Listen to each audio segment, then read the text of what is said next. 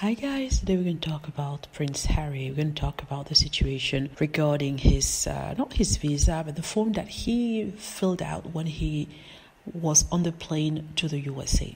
As you know, when you take a plane to go to the USA, to travel to the USA by air, you're given a form to complete, and on that form, you have to specify whether or not you had taken drugs prior to, to coming to the USA sometimes in your life. And as you know, Prince Harry said in his book that despair that when he was younger, about 20 years ago, he tried some of the drugs.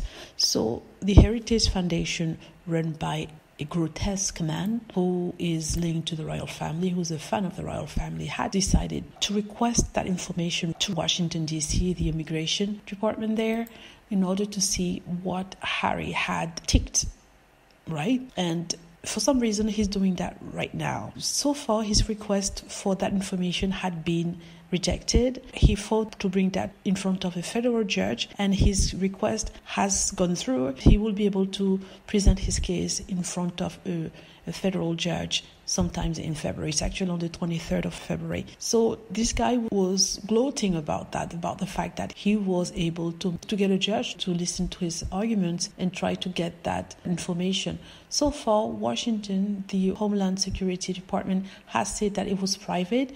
By releasing that information, it would breach Prince Harry's right privacy. But they say that Prince Harry breached his own right by revealing that in the book. The funny thing is, it was already reported in the press that Prince Harry had taken stuff and this happened about 20 years ago. And between 20 years ago and now, Prince Harry has gone to the uh, United States at least four or five times. Why wasn't this Heritage Foundation upset then, uh, curious about what he had ticked?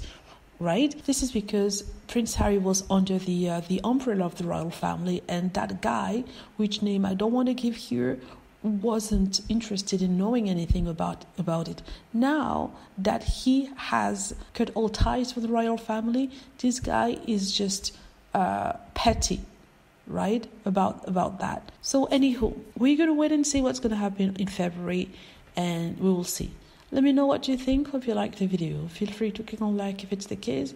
Subscribe for more videos and click on the notification bell to be notified when i post a new video. Thank you